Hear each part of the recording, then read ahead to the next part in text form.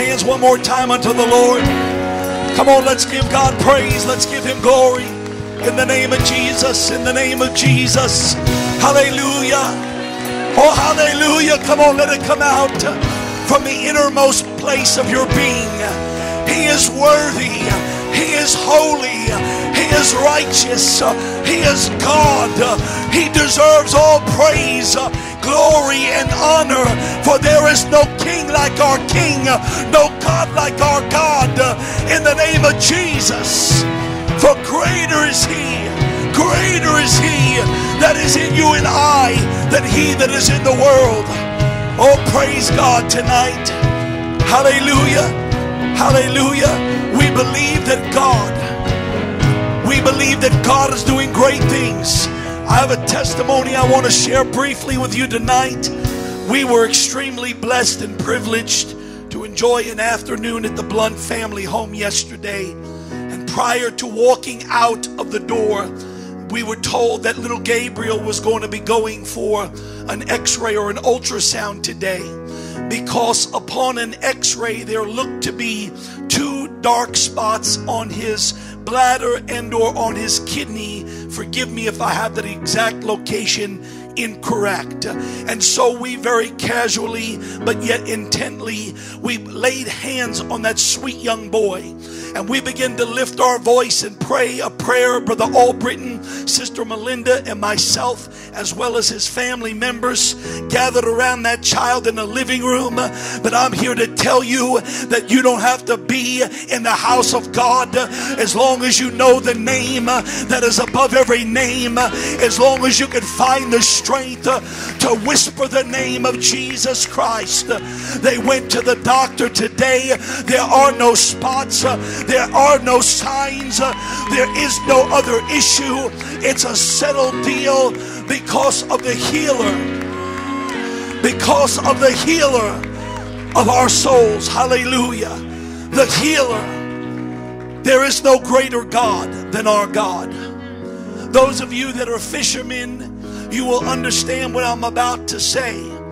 But when you go and you prepare a reel and you get it connected to a pole and you go fishing, there is what is called the, the test. The test determines how strong that line is. It is an indication of line strength. And if you're fishing for 10 pound fish, you would get 10 pound test and so on. You would not want to use 10 pound test to go shark fishing. Neither would you want to have 100 pound test to go perch fishing. You get the picture but it's an indication of line strength. And the measure of poundage is to match the species that you're going after. I'm here to tell you tonight that hell cannot produce Uh, a line strong enough uh, to reel in and hold back uh, a child of God because greater is He that is in you, greater is He that is in me than He that is in this world. There's nothing that we cannot break. There is no force. There is no stronghold. There is no addiction. There is no power that can hold back the power of our God. And I believe that God is in this house tonight. And I believe that that God wants to not only do a miracle in Gabe's little body, but he wants to do the miraculous in this house tonight. The waters are troubled. POLR, we have entered into a season and we are going to step uh, into the waters tonight. So we're going to worship one more time. But I want us to come to this altar. And I want us, whatever you're facing, whatever you're dealing with, wherever you're crying from, a point of pain, a place of frustration, a place of desperation, or if you're simply here tonight to, to give God glory and rejoice in what the Lord is doing in your life, let's come up close. Let's come up tight and let's really lift our hearts uh, and prepare the way for the word uh, of the Lord tonight. God is in this house. The hand of God is moving in a mighty way. Whatever you brought to the Lord tonight, I want you to lift it up to God, knowing, knowing that there is no force on the other side of what has you and what's grabbed hold of you that can ever keep you. There is no line that we can't snap. There is no way of escape that we cannot find because God will never put more on us than we can bear without making that way of escape. Praise Team, would you lead us? Hallelujah. Worship. Let's worship tonight. God, we love you.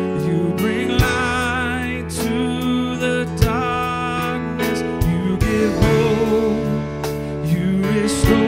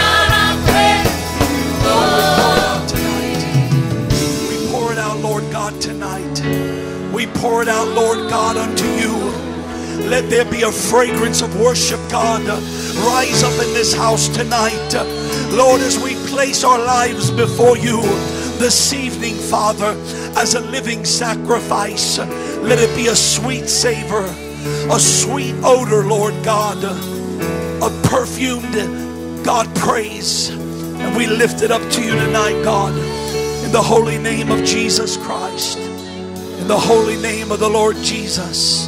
We thank God tonight for his sweet presence. We're so thankful tonight to have the privilege and honor of worshiping the Lord Jesus Christ.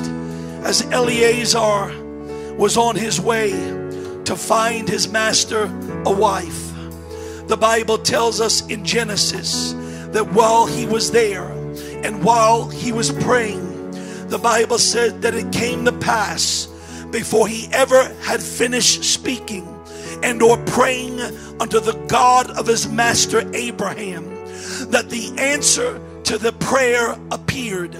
I'm here to tell somebody tonight in the Holy Ghost that God is an answering God. He is a prayer answering God. And I'm here to tell you tonight that we don't always have to agonize over our ask. There are times that God won't even allow the prayer thought to fully materialize so that we can articulate it and God can answer.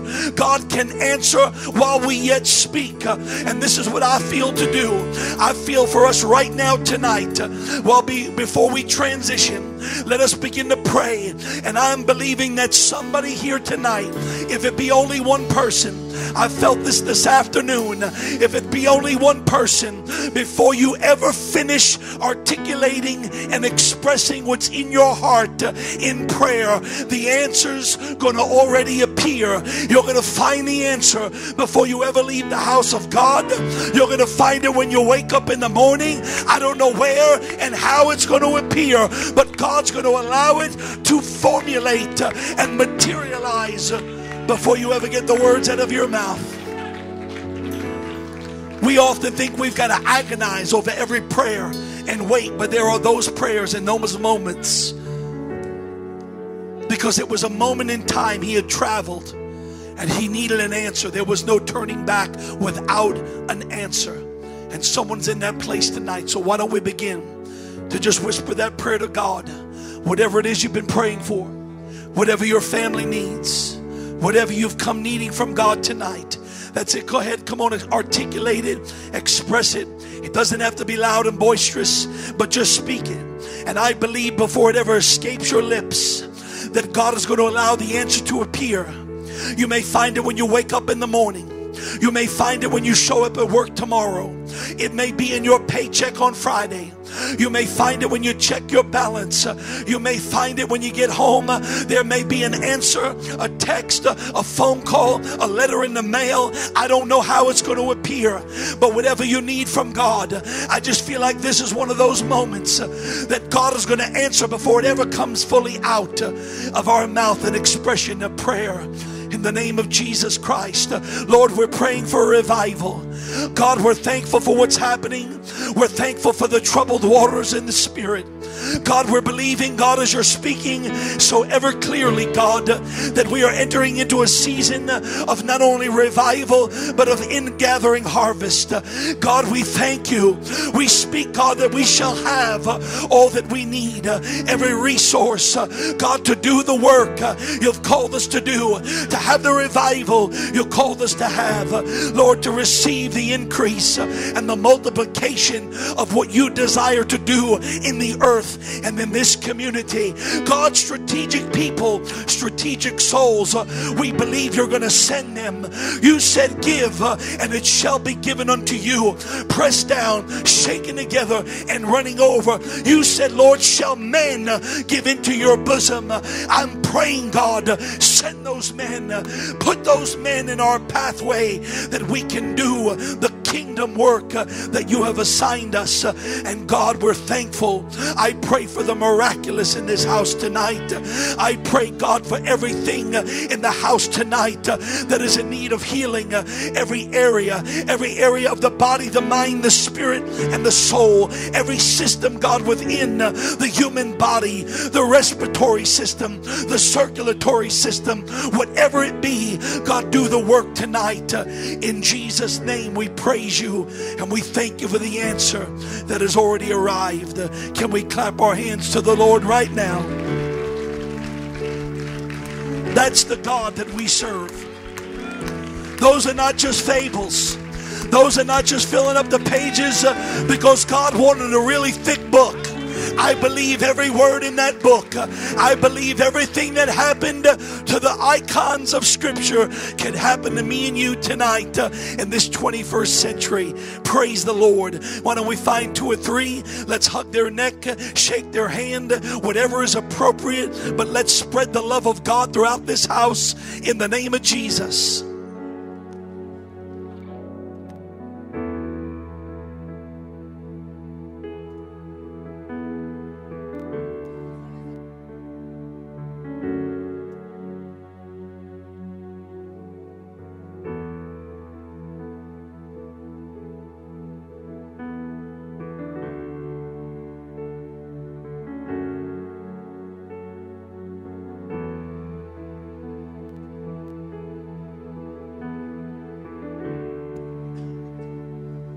Praise the Lord. It feels so good to be in the house of God tonight. What a beautiful evening it is, and what a great place to be. There's no greater place than the Pentecostals of Lee Road to be on this Monday night. And uh, it is so good to be together, so thankful and grateful for the many incredible reports of what God is doing, not only here, but throughout the network. And we give Him praise for that. And uh, just, I'm so thankful to be here tonight. There's an anxiousness in my spirit to get to the Word of God. I'm so thankful we are entered into, or we have entered, I believe, into a great season of revival, and uh, so thankful. I want to say thank you for everyone that has prayed, that has fasted, that has been extremely faithful. Every single one of us contribute. If it be just a drop each, at some point the glass will become full and run over. And I am so grateful for every single individual that has given and has contributed your part in what God is fixing to do and what has already begun. Very briefly tonight, a few quick announcements. Receive our offering and get out of the way and let the man of God minister to us tonight.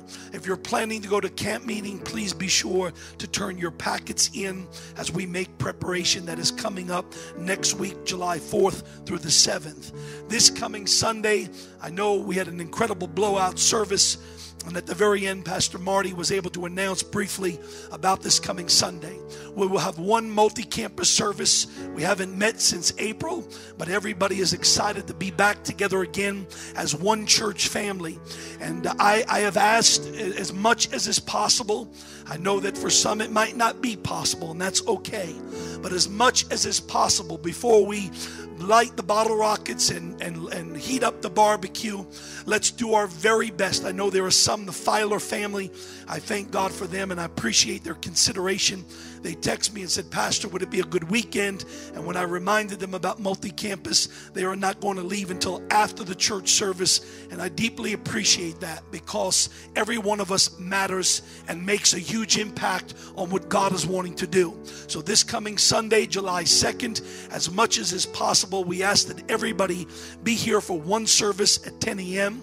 We are going to have a very, very special guest speaker by the name of Brother J.H. Osborne flying in from Indianapolis. He has pastored for 45 years. Many of us that have been to men's conference, we are very familiar and have been very blessed by his ministry, highly anointed.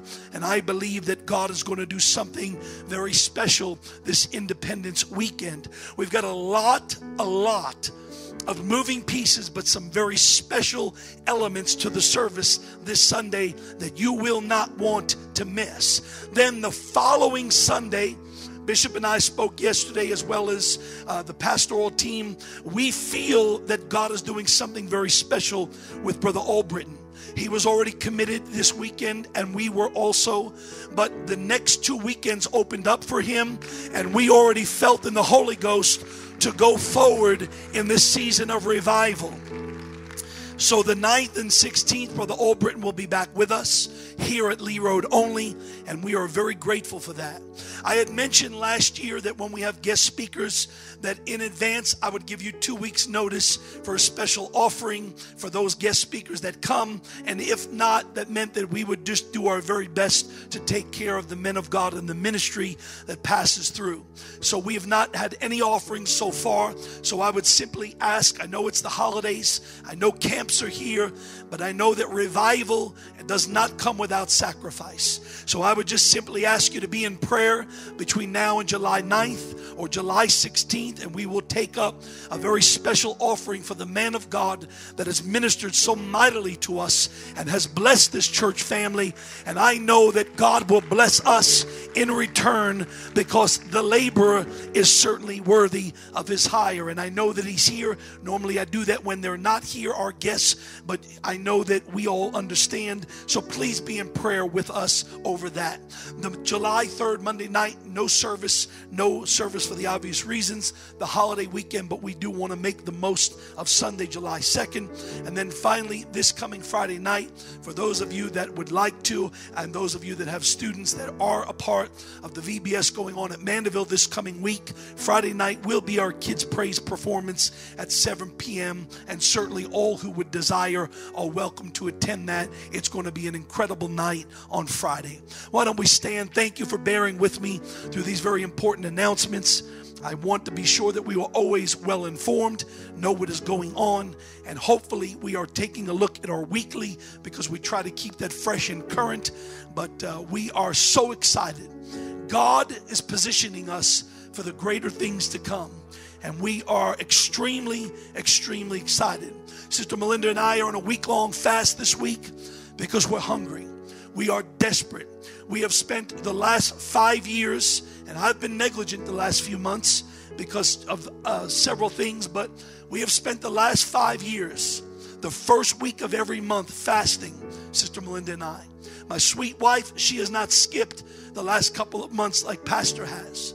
But I'm telling you, there is something deep down on the inside of me that just refuses. I will go to a grave, refusing to settle for ordinary or to settle for status quo. I am wanting to see the heavens open and to see God do what I believe through the elders and the prophets that have passed through have prophesied we would see and we would receive. And there's got to be those of us that are doing it, no doubt, that are willing to pay the price to see it happen. And I, for one, am grateful to be just a small part of what God is going to do. Father, we love you. And God, we thank you for what you're entrusting us with. This is a season of visitation. And God, I don't want to not recognize it for what it is. And Father, every time it is without fail, when a sacrifice is laid upon the altar, you, Lord God, as long as it is in alignment to what you ask of us, God, you cannot help yourself but to consume it and fall upon it. Father, I pray, pray tonight a blessing over this beautiful body of believers and all that have been so faithful and sacrificial in not just their giving of finances, but their living for you and their servitude in ministry. And God, I'm asking tonight as we bring this offering that you would bless it, that you would break it, that you would multiply it, and God, that you would shower down upon us in deluge that which we need to do the work of your kingdom. In the name of Jesus, let a blessing fall on every family tonight that is in this house and those connected to us. In Jesus' name we pray. Amen. As we come from the back to the front, let's come and let's just remain standing for the man of God to come and lead us in the word of God tonight.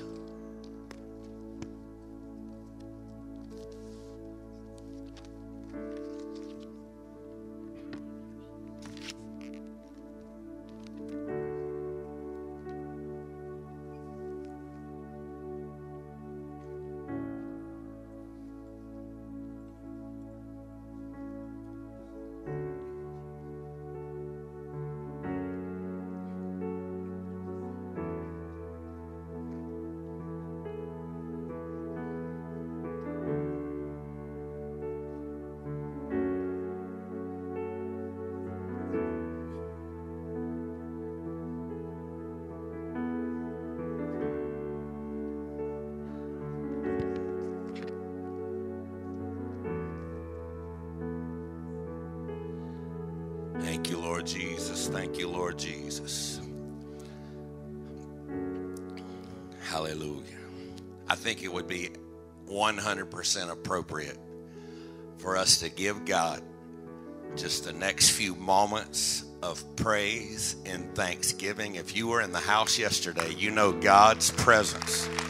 Hallelujah. The anointing and the Spirit of the Lord is meeting with us in a special way. Can we lift up a combination of thanksgiving and praise? Hallelujah, dear Jesus. We worship you, Jesus. Lord, we worship you, Jesus. I praise you. I praise you, Lord, for every mind that's being set free. I thank you for every heart and mind and spirit that is being strengthened. I thank you, Lord, for every life that is being empowered by the work and the voice of the Spirit, the action of the Spirit of Almighty God. Hallelujah. I thank you for the liberty of spirit that is coming into this house in such a powerful way. The river and the flow, the power of the Holy Ghost, Lord, in Jesus' name. In Jesus' name, in Jesus' name, we give you praise. We give you praise. Let me see if anybody can concur with what I'm feeling in my spirit. I'm sensing a, a, shift. We've been talking about the liberty of the Holy Ghost, and I'm telling you what, yesterday morning in worship, worship has been great, but there was a liberty in the house yesterday morning. There's an anointing in this atmosphere tonight. The Holy Ghost is shifting gears and doing some beautiful and powerful things. And God, we give you glory. We thank you so much for meeting with us. We thank you for walking among us ministering to us in Jesus' holy name. In Jesus' holy name.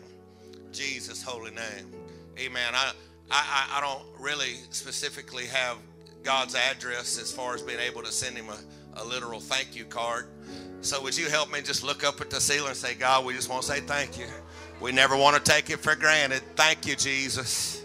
Thank you, Jesus. I know you're looking at a black ceiling, but somewhere up there is our God. I thank you, Jesus. I thank you, Jesus. Thank you, Lord, for every word, every act of the Spirit, every, every life being touched. Hallelujah. Hallelujah. As always, I give honor to this great church. Give honor to Brother and Sister Trinacost and Brother and Sister Marcelli. You wonderful people. I do want to thank uh, Missy and Avery Blunt for hosting us yesterday with a spread fit for uh, about 25 kings and all their families. And my goodness, that was some good eating. Thank y'all for hosting us and treating us so kindly yesterday. And what a great report we received uh, today. And uh, thank God, thank God for it. Praise God. First Kings chapter 18, verse 41.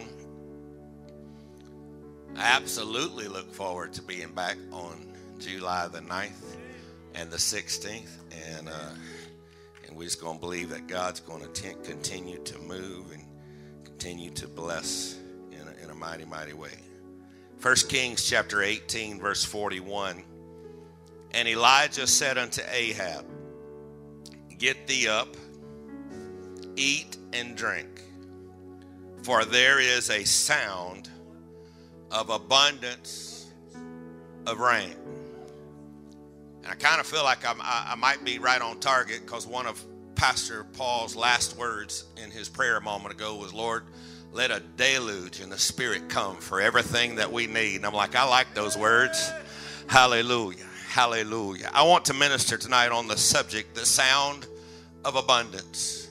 The sound of abundance. Could we give Jesus a hand clap of praise?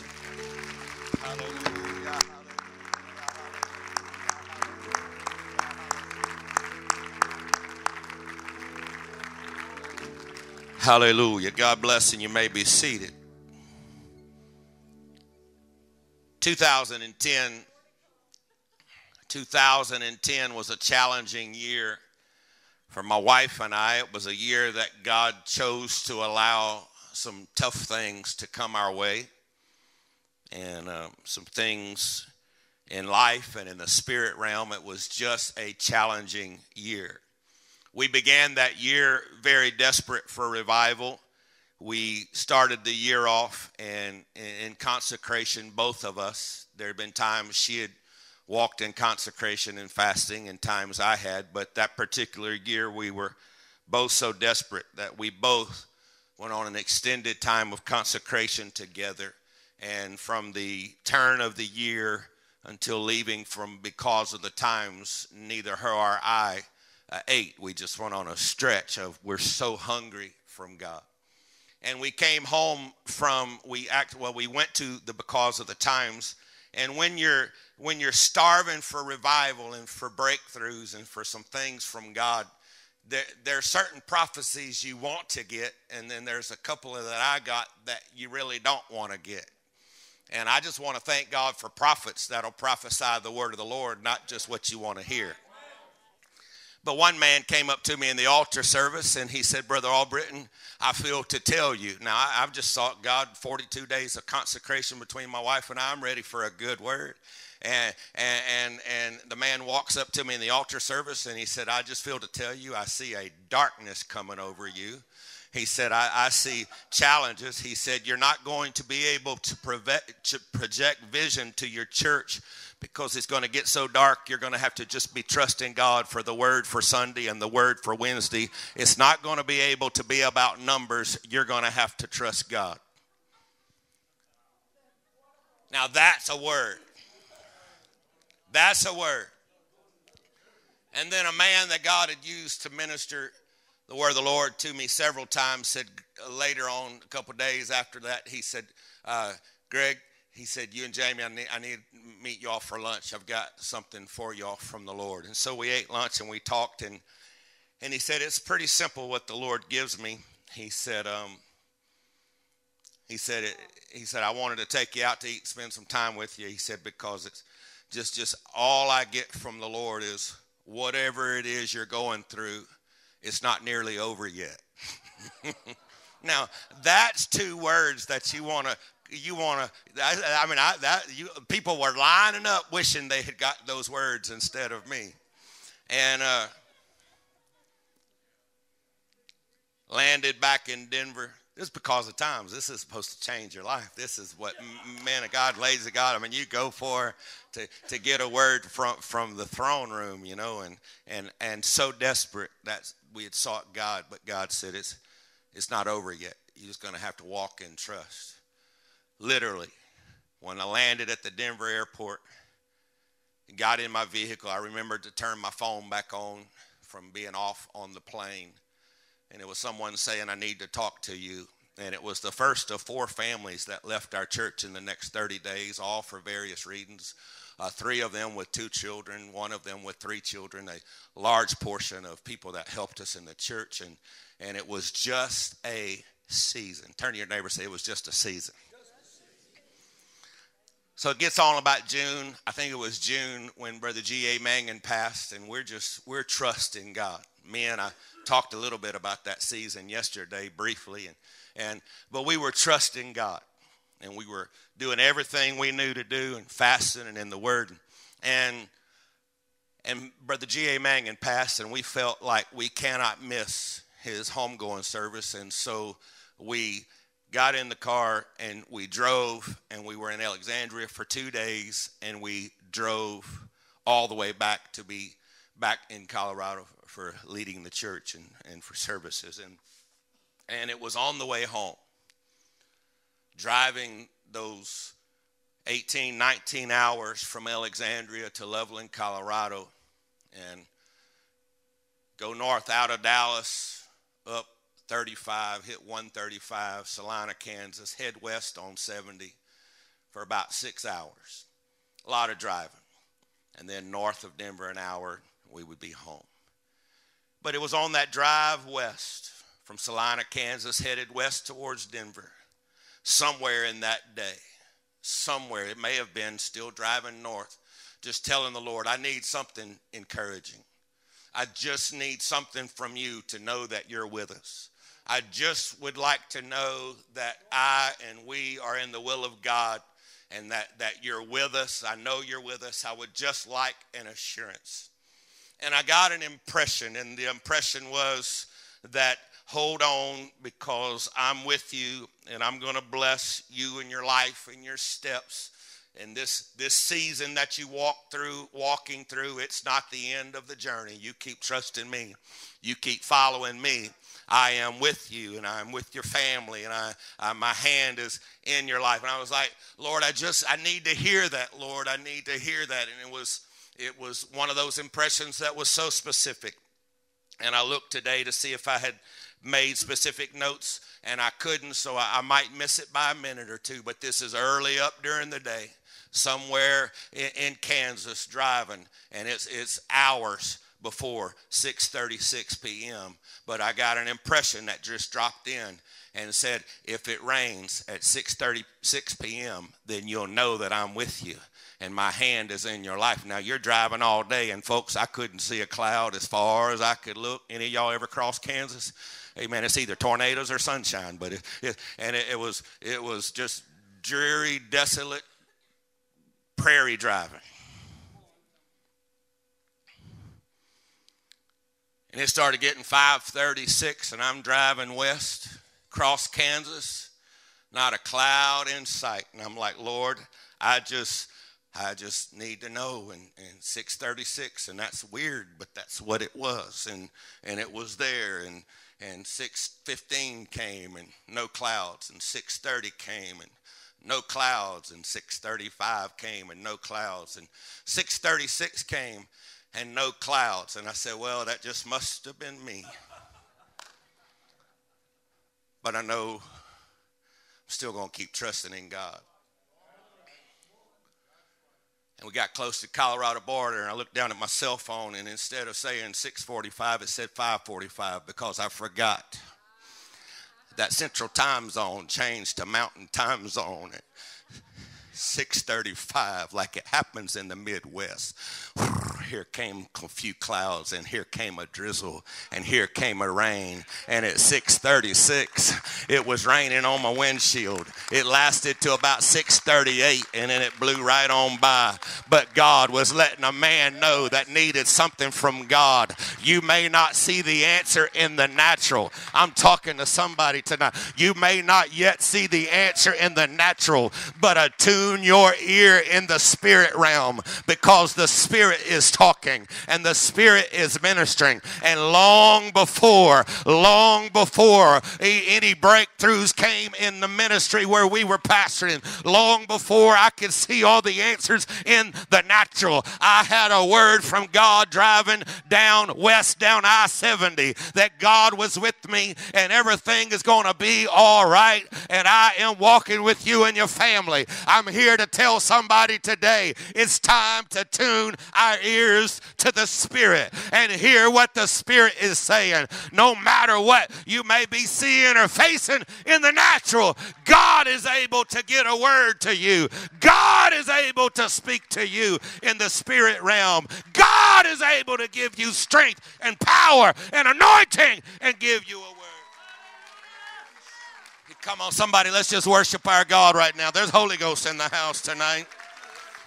Hallelujah. There's Holy Ghost in the house tonight.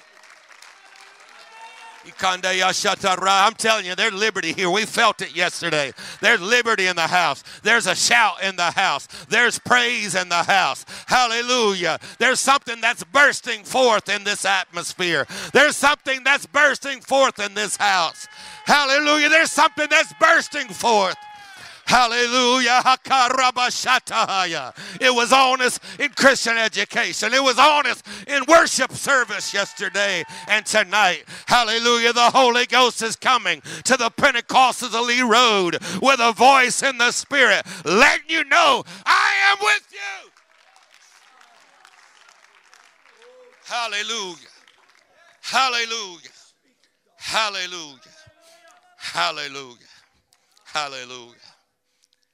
First Kings chapter 18. Came to pass our story. We pulled our text from verse 41. Well, let's go back and look.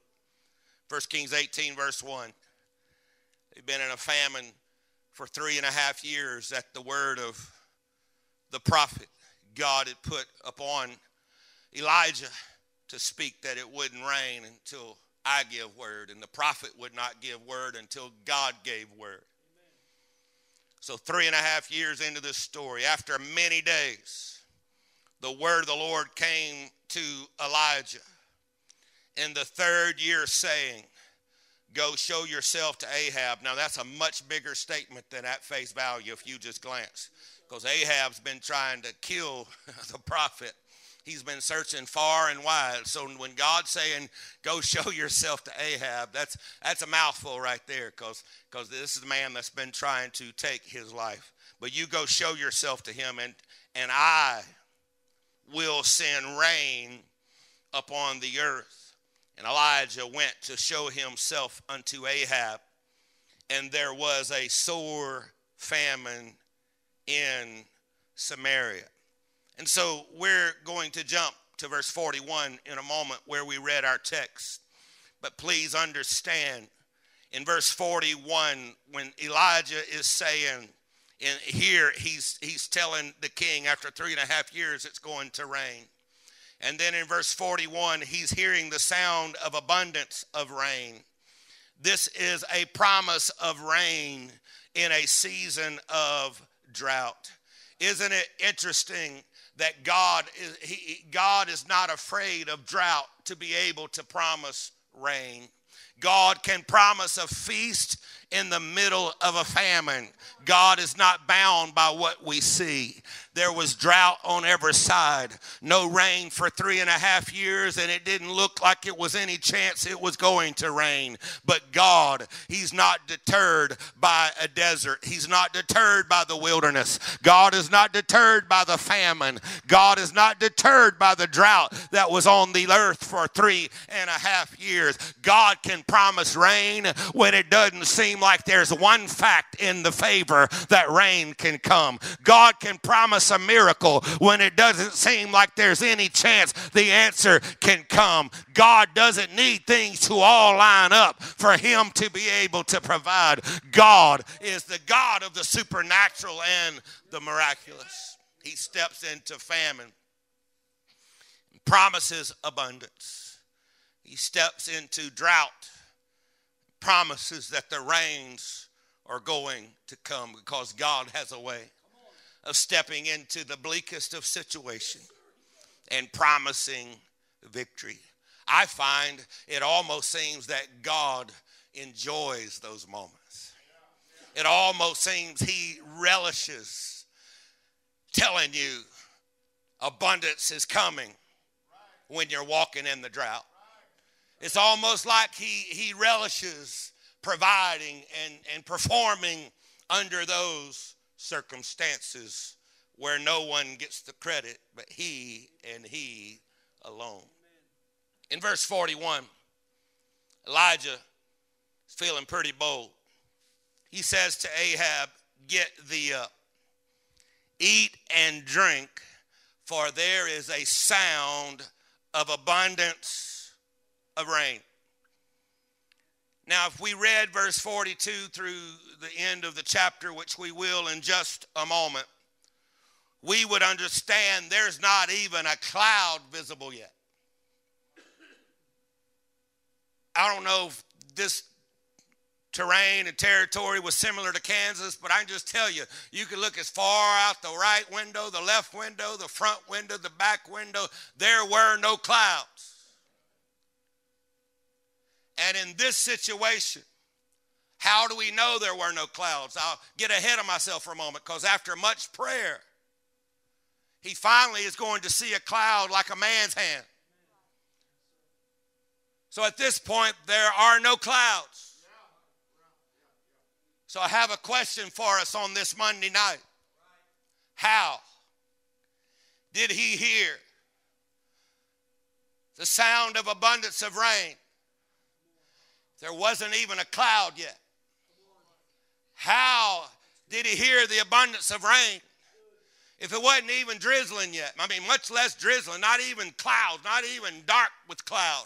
How did the prophet hear the abundance of rain? It's key for this church and it's key for our lives tonight. Amen. I'll tell you how he heard it. He heard in the spirit realm before there was one piece of evidence in the natural realm that it was coming to pass. And I've come to preach to us on this Monday night. Our ears are to be attuned to the spirit, not to what we see with the naked eye, not to what we see in the natural, but to what what we hear in the Spirit.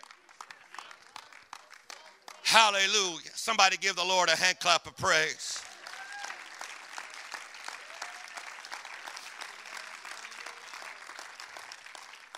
He heard it. Somebody say in the Spirit. Revelation chapter 2. We'll move quickly. Revelation 2 and 3, the Lord gave messages to seven churches. They were literal churches of that day. I've also heard many teach that they were representative of church ages, but the seven churches that were spoke to in Revelation 2 and 3, there were parts of the message that were common to all seven churches three statements were common to all seven churches which lets me know whatever whatever church body whatever church age whatever every single church group that's going to make it to heaven is going to these one these statements common to all three churches means anybody in the church anywhere that makes it to heaven is going to have to follow those three statements he that hath an ear, let him hear what the Spirit saith to the churches. He that overcometh. And then the third thing is there's a, a, a promise given. And then I know thy works. So we know God knows our works. We know that that that the Lord uh, is paying such close attention that his church, he knows their works. He knows that they're overcomers. But listen what he said. He that does what? Have an ear let him hear what the Spirit saith to the church. If God had that statement repeated to all seven churches in Revelation 2 and Revelation 3, I wrote down the verses. If you just want to look at them, Revelation 2 7, let's put one of them on the board. There it is, John, Revelation 2 11. He that hath an ear, Revelation 2 17, Revelation 2 29, Revelation 3 6, Revelation 3 13, Revelation 3 and verse 22. What if God had that repeated to his church seven times, then it must be vital.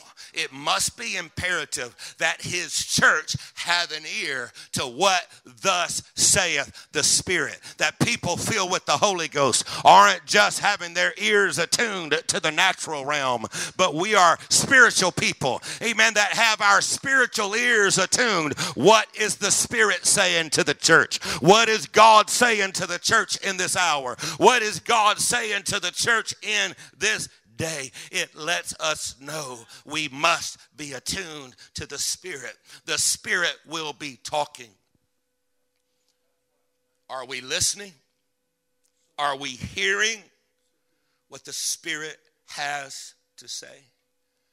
Because if so, we will hear things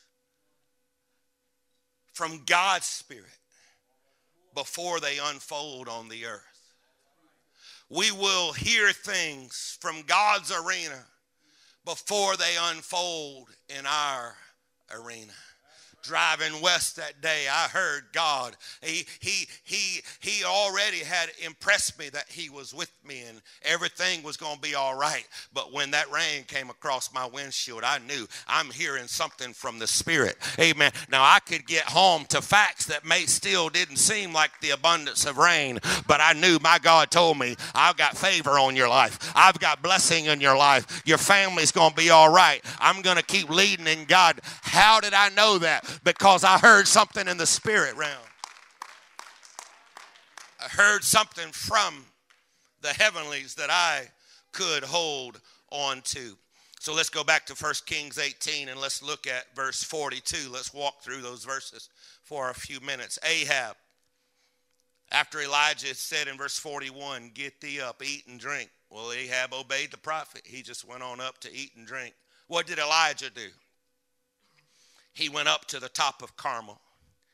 He cast himself down upon the earth and put his face between his knees and said to his servant, Go up now, look toward the sea. And he went up and looked and said, There is nothing. Now, let me back up here for a moment. The Bible doesn't explicitly say that Elijah went into prayer or into intercession. But I would say that the expression he put his face between his knees is a position of prayer. Now, this isn't biblical, and you won't find this in any commentary, but I'd like to say Elijah was a pretty limber man. You can smile, that's not real deep. But I tried it in the room today just to see, and I can't get my, my head anywhere close to between my knees. So I might can pray laying on my face, I might can pray walking, but I, I can't quite pray like Elijah prayed. Turn your neighbor and say, Pray for the preacher. Now y'all gonna have this mental picture, me in the hotel trying to see if I can pray like that. But I present to you that it was a posture and a position of prayer. He had faith in his heart that something was going to happen. Do you see the order of these events? God is doing a beautiful and a powerful work in individuals and families in this church and in this church body and leadership and ministry. And thank you all for being so kind. We're hearing some things in the spirit, we're seeing some evidence in the spirit. But I want you to notice what happened with Elijah when he began to hear something in the spirit. Did he just go la di da on a whistle walk? Amen. And just said, no, no, no. He said, I've heard it. Now I'm going to my God in prayer until it unfolds. Amen. When we hear stuff in the spirit, that's when we act activate our faith. That's when we activate our faith walk and our prayer walk and our trust walk. And we say, Now, God, I've heard it. I've heard what the Spirit says is happening. I've heard what the Spirit says is coming. It's as if God lifts us, us and puts us into the future, lets us taste it, lets us smell it, lets us sense it. And then He pulls us up and sets us back down where the facts may not match everything the Spirit's saying. But now we've got a vision. Now we've heard a voice. Uh, now we're sensing something stirring in the spirit realm. And the man of God said, I've got a word from God. I've got a promise from God. I've heard a sound in the spirit realm. Amen. Now I'm going to begin calling on God until it's in earth as it is in heaven. Somebody hear me. How did Jesus teach his disciples to pray? In earth as it is. So the Lord in the spirit realm will lift you up to the heavenlies and say, I want you to see what's going on in the heavens. I want you to hear it, taste it, smell it. This is my purpose. This is my will. This is my plan. This was what I'm doing at the Pentecostals of Lee Road. This was what I'm doing in the Byers family. This is what I'm doing in the Bonvillian family. This is what I'm doing in the Wilkes family. This is what I'm doing in the Trinicost family, in this church, and leadership. This is what I'm doing in Bishop and all of you. This is what I'm doing. That's what I'm doing in your life, in your life, in your life. I'm letting you hear it in the spirit. Amen. So tomorrow you'll wake up and say, In earth as it is in heaven. I heard it when I was in the heavenly realm. I heard it in the spirit. Now I'm going to pray it into existence in my kids. I'm going to pray it into existence in my church body. I'm going to pray it into existence in our home. Revival is coming. The power breakthrough is happening. Hallelujah. Hallelujah. Amen. Amen. Mm. Brother Lane, you did a great job leading us. I just saw your face. Where'd you go? There you are. You did a great job leading us, singing and worshiping yesterday. Amen. And I, today at the hotel room, I kept hearing, I hear the chains fall. Remember that line? You ought to. We sang it a few times. What Brother Tenney say about our modern worship songs? He said they're 7 11 songs. Write seven words and sing them 11 times. No, that's a great song. But today in my hotel room, I was like, man, I, I, I, I wish somebody just, just reworked that a little bit and write a song, I Hear the Rain Falling. Because I, I was hearing the sound of abundance of rain. It almost works. It almost works. I hear the rain. Where do you hear it at? He didn't, the servant went and looked and said, I see Nothing. Now, God's blessing us. We're seeing a lot more than nothing. We're seeing beautiful things happening in our lives. But sometimes in the spirit realm, you hear it. It's what's heaven's point of view. And then you operate in the earthly realm but you're able to wake up the next morning and walk through that week next week saying, In the name of Jesus, I've heard it now, God. I've tasted it now, God. In earth as it is in heaven, let your will unfold. Let your liberty come. To, I felt that liberty, Lord, when I was in that altar. Those, oh, I tasted it, Lord. I felt it, but I got home and that, that old stuff is wanting to come back on me. Those, I tasted it in earth as it is in heaven. I, I, I believe. I, I, I speak complete victory, complete liberty, complete anointing in the Holy Ghost. We got to stop right now. Somebody's got to lift their hands. There's anointing happening in this room. There's power from the throne room. You did hear from God. I got to tell somebody, you did hear from God. Just because you saw a different circumstance does not mean you didn't hear from God. You heard from God. You're just praying in earth as it is in heaven. Let it come to pass in the natural as I felt it in the spirit name of Jesus. In the name of Jesus. In the name of Jesus.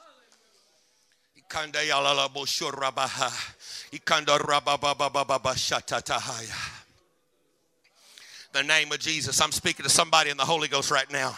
You're saying, Brother Albritton, if you knew how if you knew how dreary the drought was, you'd be careful what you're saying tonight. But I'm speaking to somebody right now in Jesus' name. There's abundance coming to your drought. There's breakthrough coming to your journey. There's breakthrough coming to your journey. Amen. There is feast coming to your famine. In the name of Jesus, I speak spiritual abundance. I speak abundance of rain. I speak abundance of liberty. I speak abundance of joy. I speak abundance of revival and restoration that leads to harvest and souls and breakthrough in the name of Jesus.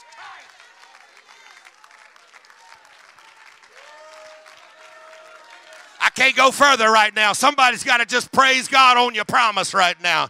Somebody's got to thank God. Brother Albritton, it's a drought. Brother Albritton, I'm not seeing a lot of evidence right now. You did hear from God. You did hear it in the spirit. Now you're just activating in the natural what you heard in the spiritual.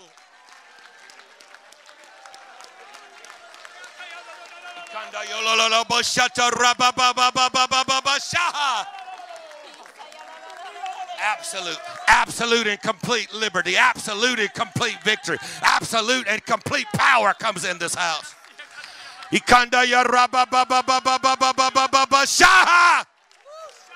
God bless Bishop right now. God bless Sister Marcelli right now.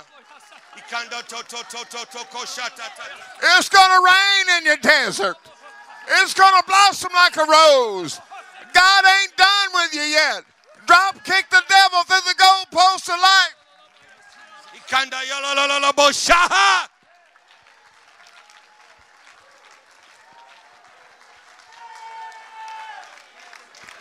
Come on, somebody. Come on, somebody. That's it. He kept on a praying. It went from there is nothing to I see a little cloud. You keep on believing what you heard in the spirit. You keep on holding on to the promise of God. This is just God's will right now. Somebody, somebody, there, there is absolute liberty coming in the house. There's absolute breakthrough of joy and peace and power coming in your house and in the life in Jesus' holy name.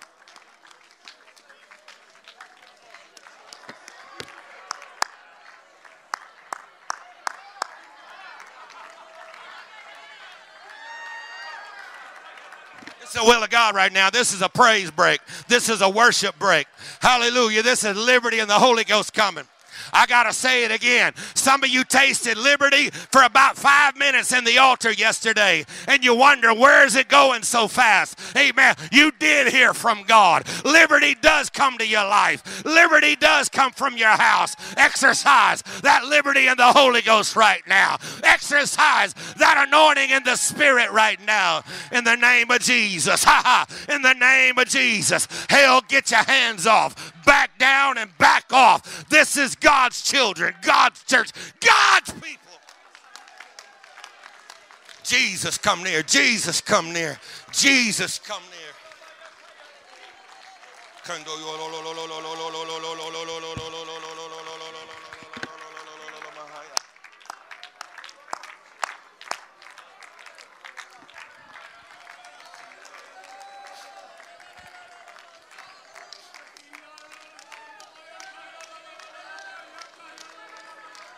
It's the will of God right now. You just keep on praising God for a moment. Don't worry about the preacher. You don't worry about me right now. You just keep lifting up the name of Jesus right now. Get your breakthrough in the Holy Ghost. Get renewed in the Spirit right now. Let virtue come on you right now.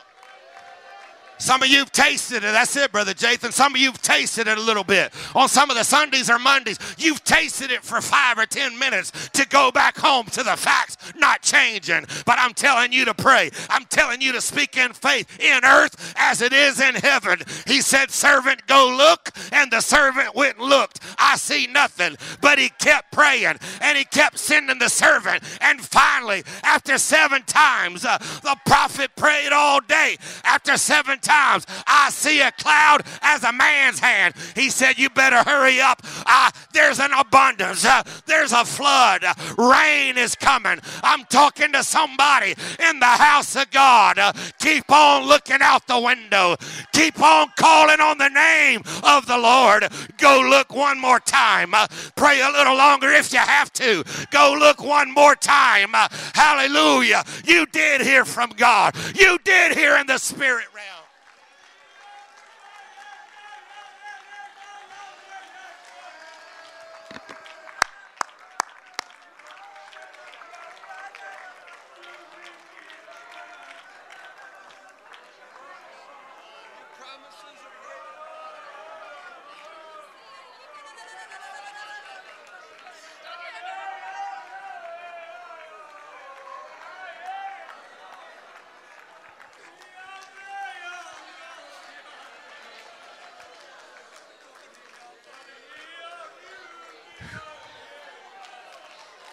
Hallelujah.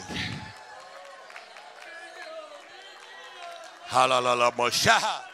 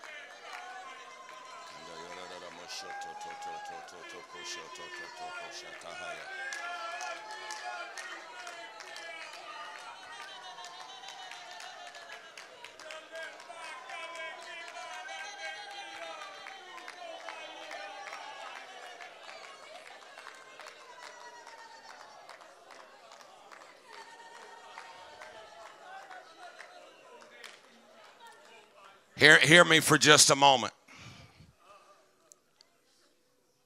The verses, I copied them from my Bible and just pasted them.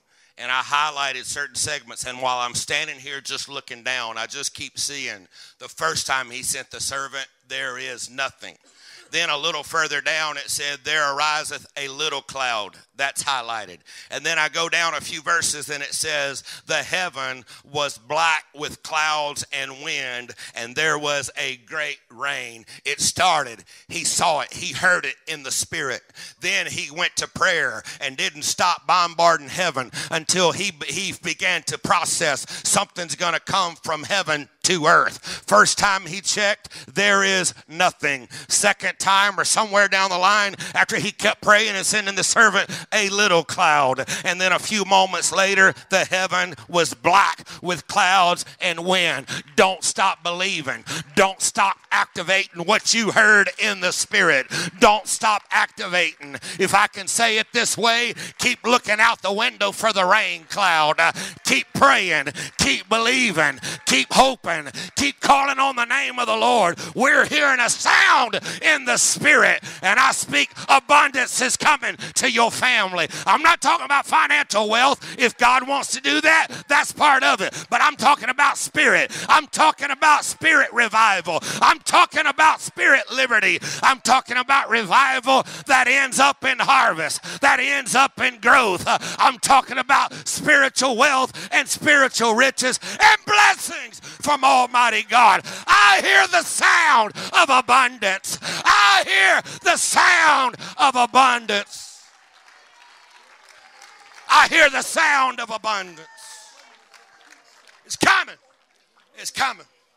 It's coming.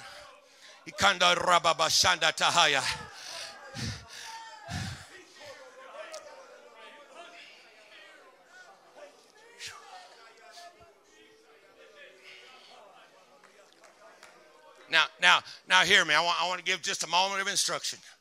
But I feel like God's about to do something through the men of this church. And ladies, you're praying all over this room and you're walking in faith. But I saw Brother Jathan make a lap or two walk and running. I saw a couple men get out and begin to walk, and the Holy Ghost just impressed me. These men are about to march, claiming victory for what God is sending to this church. Hallelujah. So, men, I just want you to walk. You can go this way. Some of you can take the far aisle, some of you can take the second aisle. But let's just go. Let's see what way is that. That's counterclockwise. There you go. You see which way you're going. Just begin to clap. I want you just begin to clap. You want to lift your hands if you want to. You want to lift your voice. Ladies, keep praying all over this house. You can join them in a minute. Men, don't stop your worship. Don't stop that cry. Clap. Let your hands be lifted. Let your voice be lifted. I hear the sound. Hallelujah. Come on, some man shout in the Holy Ghost. Come on, somebody pray in the Spirit as you're marching. Revival comes to the Pentecost. That's it. That's what I'm talking about there. Revival comes to the Pentecostals of Lee Road. Revival comes to this atmosphere. Revival comes to this sanctuary. Revival. Come on, claim it. That's it, Daniel. That's it. Reclaim. Let that hataya shatatahaya. Ikanda. Let that come all over you from head to toe. Let that come over you from head to toe. Revival. Ikanda toko shanda taha. Pray with me for Gary right now. God does a work in the spirit right now. Gary, God does a work in the spirit, my friend. God does a work in the spirit right now. Ikanda koshondo totokara. I saw it on you a few moments ago. Something that only God can do. To the sole of your feet, from the top of your head to the sole of your feet. Ikanda yosharaha. Hell, get your hands off of families. Hell, get your hands. Ha ha. Ikanda ya la la la boshata. Hallelujah. Hallelujah. Ladies, why not? If you feel to, just step out and join them. God's doing a work right now. Somebody's marching and praying. Ladies, feel free. Just step out. Let that come on. Let it happen. God's doing something in your life. God's doing, I know this is old fashioned. Ha ha. Amen. We're claiming victory. If you feel to stop and get your breakthrough, let it happen in Jesus' name. Stop and get your breakthrough if you need to. It's happening in Jesus' name. It's a Holy Ghost night. It's a Holy Ghost night. I'm hearing something. Amen. Something's been coming on you. The whole process, the whole victory. I'm telling you. I'm telling you. You're, you're getting layers each service. God's doing a complete work.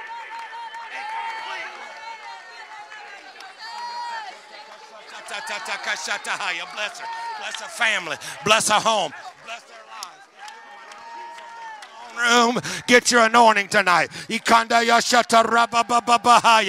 the name, I hear a sound in the spirit.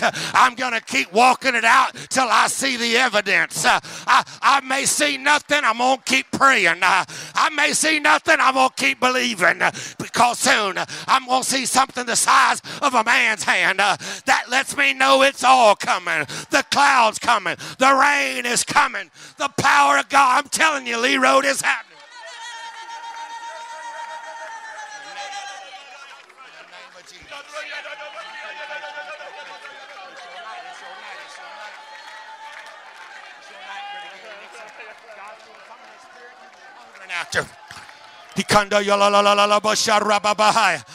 In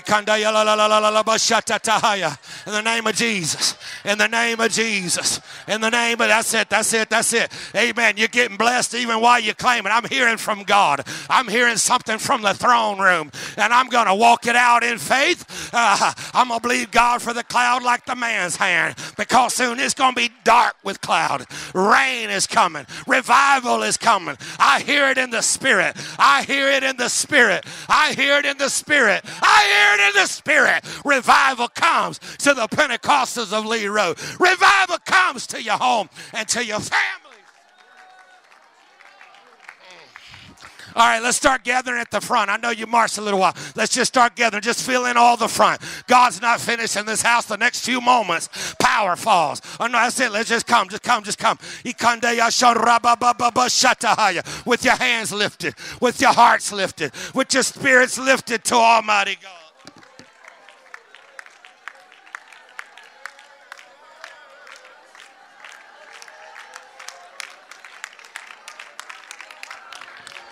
Come on, somebody tell him, hell, get your hands off my family. I done heard, I've done heard from the Spirit now.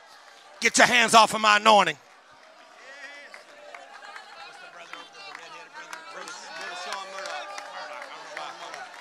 Come on, that's, my, that's it, my friend. I'm hearing something in the heavenlies. I'm hearing something in the heavenlies. I'm hearing something in the heavenlies, and I'm going to activate it.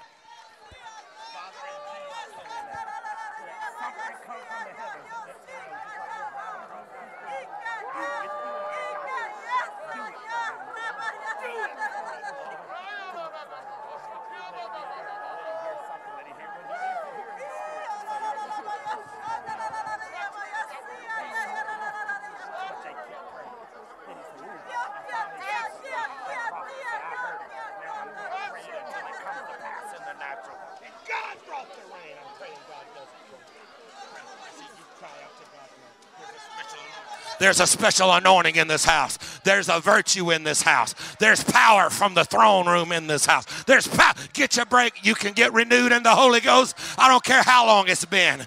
Your calling can be affirmed in this atmosphere. The hand of God on your life is being affirmed in this atmosphere. Revival comes to Lee Road. Uh, abundance comes to Lee Road. I speak it. I'm hearing it in the spirit. You're hearing it in the spirit. Now we're going to keep praying until the clouds get all dark and everything happens that God wants to happen.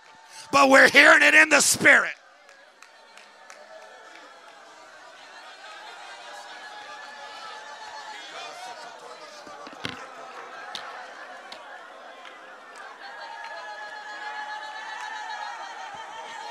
Pray the miraculous. We pray the supernatural. We pray the affirmation of the Spirit of Almighty God.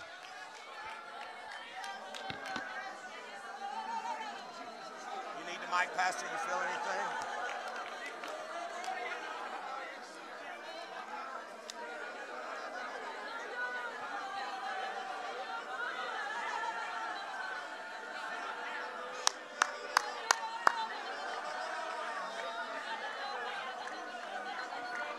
Revival comes and everything that comes with it. I hear it in the spirit. You hear it in the spirit.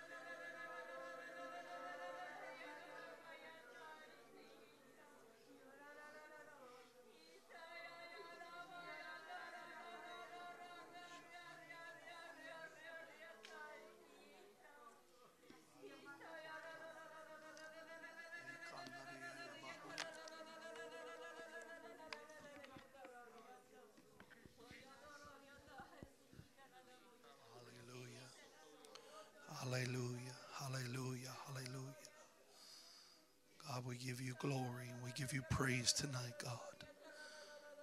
Please don't stop praying. Please don't stop praying. I just want to share some things that I feel heavily impressed in the Holy Ghost to share. We could easily mistake even this moment right now as time wasting. But what the man of God spoke was that once he heard it, there had to be travail and there had to be labors of prayer. This is what God has impressed upon me so strongly. When He set the garden in perfect arrangement, the ground was watered from beneath first. There was abundance that came from below before there was ever an abundance of showers that fell from above. God is going to bring it both from above and from beneath. God's going to bring it from without, but it's first got to break open within. We look at the skies, we look without, we look above, and we want it to fall in the external realm. But what God is doing in these preparatory weeks, what He's doing tonight, is He's allowing there to be a breaking up of the fountains of the deep within us.